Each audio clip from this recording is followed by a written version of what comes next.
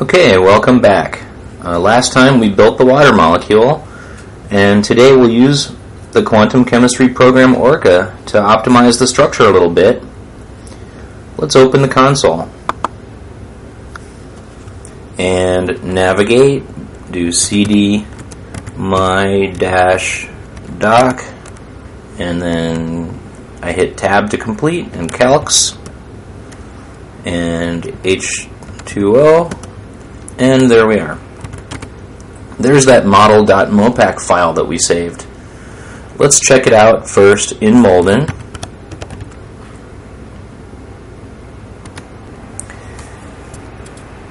Oops.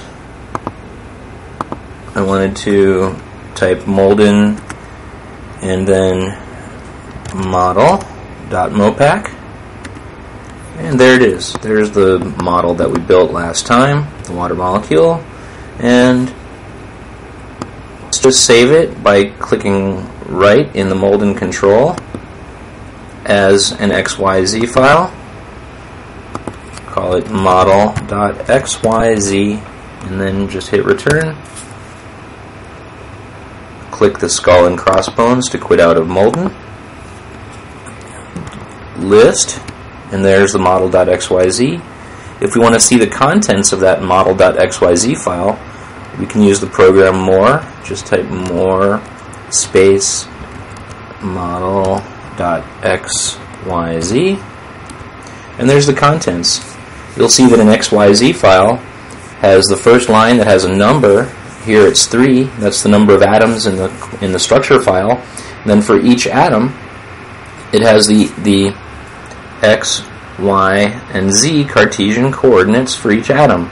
It placed the oxygen of the water molecule at the origin of our system, so its coordinates are 0, 0, 0. And then the hydrogens were placed, uh, one of them at 0, 0, 0.95, and one of them at 0.890 minus 0.3. And that gives the structure that we built using Molden. Now what we need to do is create an input file for Orca. Orca is the quantum chemistry program that's going to be used to solve the Schrodinger equation for this molecule and get the optimum distribution of electrons around the nuclei in this molecule. And we need to give Orca some instructions, and we'll do that in a very simple two-line input file, which we're going to create right now here in the console using the text editor Vi or VI. This text editor Vi was written by Bill Joy, the founder of Sun Microsystems, when he was a, gra- a graduate student. And it works very well and it's very fast and simple. There are a few commands that you need to learn in order to use it. Let's create a new a text file called VI. Uh, we're going to call the new text file job.inp and I choose that name to remind me that this is going to be an input file, a job for Orca. Return.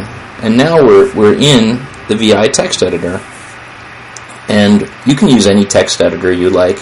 There's a simple one actually included in the distribution um, up here called Edit. But I like VI, so I'm going to show you how to use it. It has two modes, Insert and Command. And so if you're in insert mode, that's when you're actually putting text in. I'm going to I'm going to switch to that mode by just hitting the I key. And you'll notice that at the lower left here, a little I came in. This tells us something about what VI is doing. And now the first character up here on the first line is going to be an exclamation point. And I type that in. And then I'm in a space.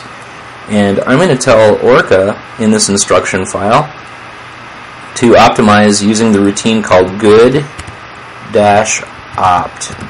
That's a routine that tells it to use a form of density functional theory to um, take the input structure from our XYZ file and optimize it at a good level of theory. If we wanted to, we could do ACK opt instead, which stands for accurate optimization, which is a more expensive calculation that would just take a little longer. So we're just going to do good opt this point in time. And that's all that needs to go on line one of our input file. On line 2, I hit return.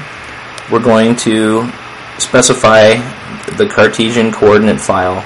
And that line starts with a, a star, and then we space, and then we're going to put XYZ file to tell Orca to look for our XYZ file.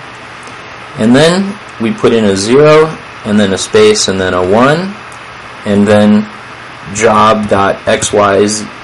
No, our file is called model.xyz that we just saved with Molden. Now let me just go back here and show you that we have this 0 and the 1. And this is to tell Orca that there's zero charge on the system. It's a neutral molecule. And then the 1, uh, the 1 tells us that this is a molecule in its singlet state, meaning that all the electrons are paired up in this molecule. Some molecules are radicals, and they have an open shell of electrons, and they might have different spin multiplicities than one, but the water molecule that we're going to calculate is the normal, all electrons paired up uh, water molecule with uh, singlet multiplicity. And believe it or not, that is the entire input file, that we'll give to Orca to tell it to optimize the structure at the level of theory referred to by the good opt keyword. Now to get out of insert mode in Vi, just hit escape.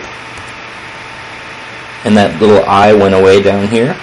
And now you're in command mode.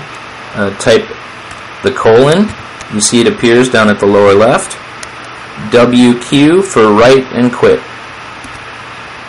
and now we're out of vi and we're back in the prompt and I can do list and now in addition to my model.xyz and model.mopac I have a job.inp file. Let's look at what's contained in job.inp by typing more job.inp. And that there is what we typed when we were in VI. And so this is just a two-line text file that contains instructions to tell the program Orca what to do. So now we have to run the program Orca and optimize the structure. And you might want to pause the video after I type in the next command so that you can make a note of it. It is, we're going to call the program by running Orca, O-R-C-A, and we need to give it the job.inp, that's the input file name, and then we're going to do this uh, greater than ampersand, that's going to tell it to run the program and put it running in the background. And then we're going to want it to write all the output to an output file and we're going to tell it to call that job.out and then ampersand to put that in the background. And so that's the command for running the quantum chemistry calculation on that model.xyz water molecule. And so I'll hit return and that program should now be running. You can see here it's indicated as a job number 1 uh, with 24320 job number. That doesn't mean any matter to us. I'm going to run the program tail dash f job.out so we can see the progress of this calculation. And what it's doing is trying to minimize the energy of this system with respect to the nuclear coordinates. So it took our initial guess input file and it's solving the self-consistent field uh, equations to uh, find the wave function for the initial structure. And then it has an algorithm that it goes through to uh, change the structure a little bit in a way that brings the energy down. And it'll keep doing this going through uh, iteratively uh, solving the wave function for each new structure progressively lowering the energy of the entire system until the energy and the gradients of the energy go below uh, some kind of a, a, default threshold and then it will decide that the, that the structure is sufficiently minimized at this level of theory and it will stop and we'll have a new structure. And you can see it's just going through and, and running through each new structure. And this takes a, a minute or so uh, on this computer. If you can imagine that if we were trying to do a calculation on a much larger molecule, that might take um, might take many minutes or hours, depending on the computer that we're using and how big this calculation gets, how many electrons are in the system. In this case, the oxygen molecule is contributing uh, six valence electrons, and the hydrogen atoms are each contributing two valence electrons. So we have eight valence electrons, plus we have the two core electrons from the, the oxygen of the water molecule. So this is a 10 electron system with three nuclei. It's a fairly small molecule, um, but this level of theory, it still takes a minute or so to get the wave function and to finish and get the final structure. And you can see that it actually took 2 minutes and 12 seconds uh, for Orca at the level of theory referred to as good opt to uh, find the minimum structure and the wave function for that structure.